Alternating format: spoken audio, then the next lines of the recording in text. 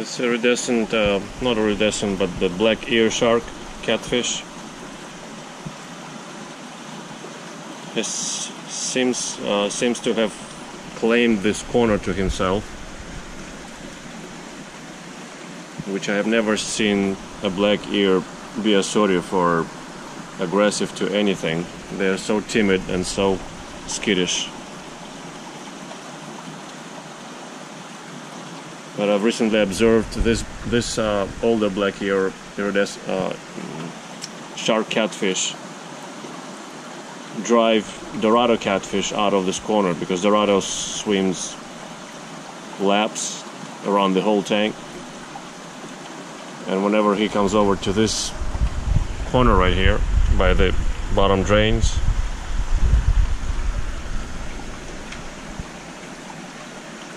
the iridescent shark wants him out. I guess because he's also silvery and shiny kind of fish like he is.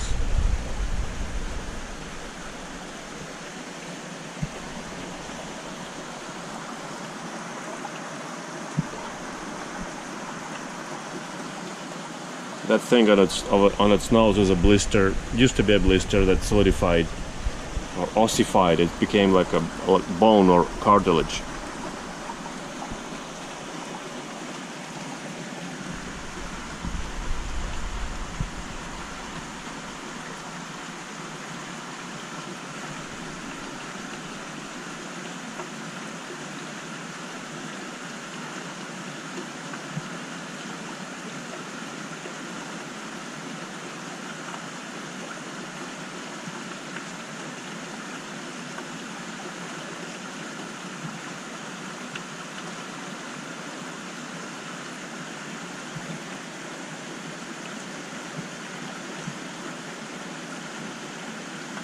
You can notice that Dorado doesn't come to this corner much anymore. He tries to avoid this corner, but once in a while he still, still comes over here. See? See, he was... the black ear was reacted to Dorado and tried to drive him out of here. So Dorado doesn't come to this part of the tank much anymore.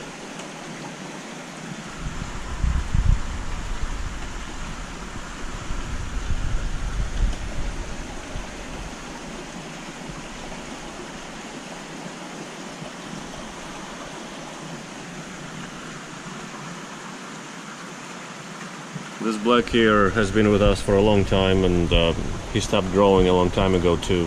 In the last five years he hasn't grown. Still stuck at about foot and a half, maybe 20, 21 inch. Which is small for this species, so that's probably a runt. Or uh, a badly stunted specimen. Yeah, see, he, he doesn't like other fish in here much either.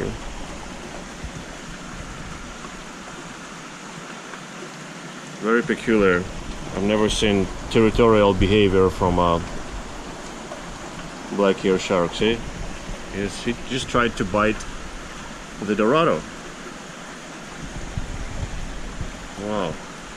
That's a turn of unexpected turn of events. I always thought that black ears and the iridescent shark catfish, they're so timid, so uh, skittish, flighty,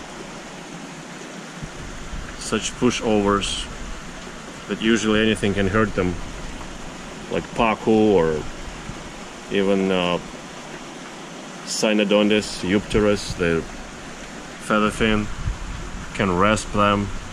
Pacu can bite their fins. See, he doesn't like that Aral barbel here either. Tries to get it out. Neither, neither the sun catfish. The other black ear doesn't come in this corner at all. Much younger one. Yep, Dorado's flying through this part of the tank, not to get attacked by by the older black ear.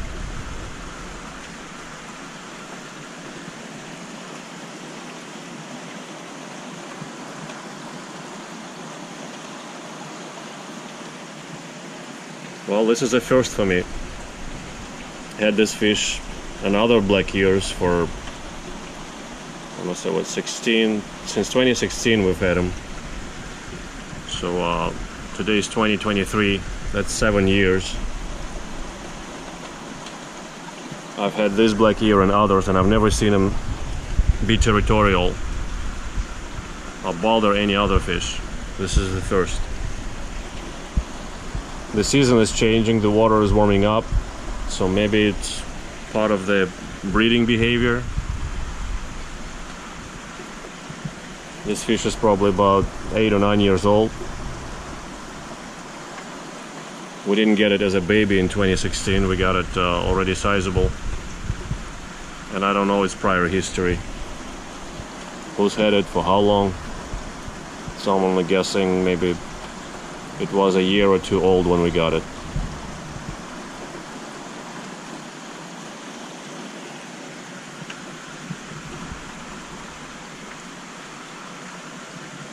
I tried removing that um, ossified blister, but it grew back. So I didn't try again. I tried only once.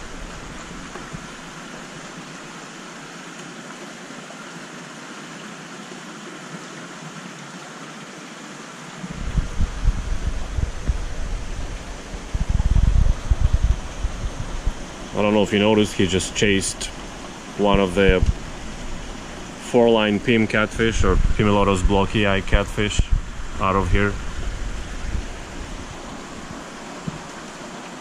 So that's most likely and almost definitely a, yep, he's chasing that Aral barbel out of here. Maybe he's the one who killed that Aral barbel that I recorded on yesterday. I don't know. Now that I'm starting I'm starting to doubt it that it was the Dorado.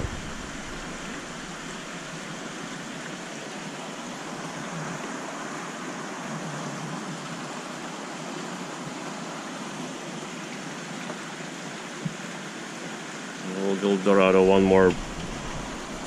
See? You just rammed him and, and tried to and drive him away. Wow. Well, live and learn. You thought you know the fish after having it for seven years, but you don't.